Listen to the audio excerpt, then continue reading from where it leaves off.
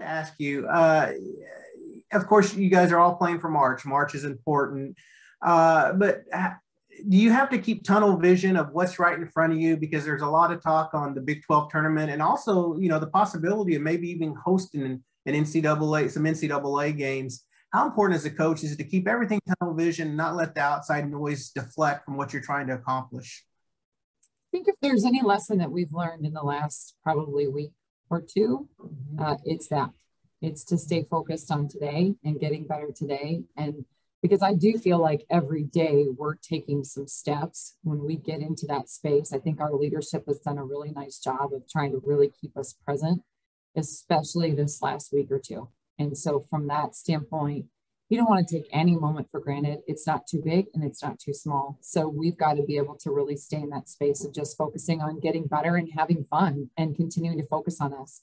I'm not worried about March, it's still February we still got to finish, you know, we got to, we got to practice today and have a great practice today so that we're ready to go tomorrow. Without divulging any game plans, how much do things change when you face a player who scored 61 the last time out? How much uh, focus does go, goes on that? And, uh, and in the kids' minds, what, what are their thoughts going into this game? You know, that's a really good question, and we're going to have to make some adjustments. You know, when you have a player that that's that that that is that dominant in our game period, whether or not we played against her or not, you have to we have to be able to game plan. And obviously, we have played her prior to. We will have to be able to adjust some of the some of those plans.